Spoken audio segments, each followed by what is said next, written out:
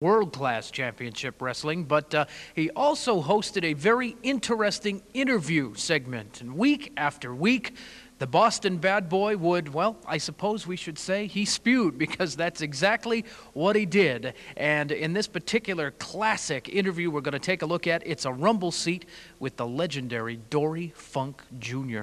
Unbelievable. I can't wait to take a look at this myself, Brian. All right, it took place in the Bahamas back in 1990. It's vintage Boston bad boy Tony Rumble and the NWA wrestling legend Dory Funk Jr. Yo, yo, yo, yo, yo, this be the BBB. And this week, like no other time in professional wrestling, have I had such an honored guest as this week. And my guest this week is legendary. They can take him from A to Z. And you ain't going to come up with anybody that compares to my guest. And that guest is none other than Dory Funk Jr. It's a pleasure to have you here, Mr. Funk. Well, thank you very much, and I want I want to thank you for asking me to come uh, to come into your rumble seat.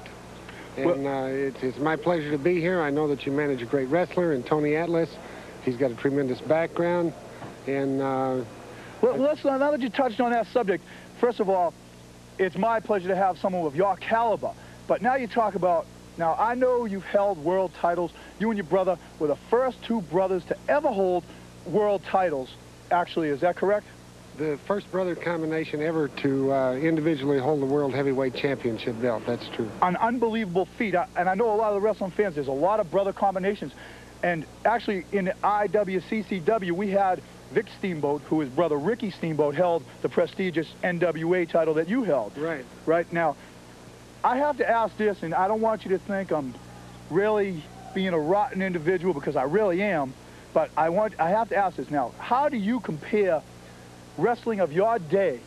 And I know you're still active somewhat, but I mean in your heyday now as a kid. Now I got to tell you this. I saw you wrestle Carlos Colon, and that's Carlitos Colon for all them Puerto Ricans out there in a one-hour time limit in, in, I think it was the Portland Expo Center, and I know you did it more than once. Now, how do you rate the, the, the competition of your day to today's wrestlers? Well, I'm going to be as honest as I can about that. I think the further along we go, the better training methods that we have, uh, the better nutrition, uh, the, and it should be on your part too, the managers should take better and better care of the professional athletes. I think all professional athletes of today are a little better than the athletes of the past. But before I go any further, I pride myself on staying in condition, staying up with the latest oh, training, training methods, and uh, I really believe that uh, I can stick right in there with, uh, with any of the great wrestlers today. But I do have to give them this.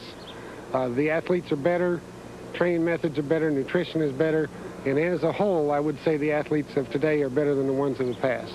Well, now that I'd you say know, there's no question about there's it. no, I have to be honest about that. Yeah. Wow, now you see now now it's been said before in other sports too, but you know it's still wrestling. It's all the same. You know what I mean? It's like in football, it's bigger, faster, stronger. Baseball, the guys are hitting the ball farther. True. I mean, basketball, they're jumping to the moon. Look at a kid like Michael Jordan now compared to a Bob Cousy. They play the same position. Now, I, I'm gonna, I'm gonna, I'm gonna say something that's kind of outrageous. It's like, I, I don't think like in your day you had a muscle man like an Atlas. Is that correct? Was there anyone of that type of uh, caliber? I would have to say that there was not a man that looked and had the athletic skills that Tony Atlas has. I've got to say that uh, he's a tremendous athlete. I would like to add just one other little thing, though. I would like myself, because I'm, an, I'm a competitor, and I like to try myself against other people, I'd like to give it a shot at Tony Atlas for his championship belt. But I'd only like to ask one thing.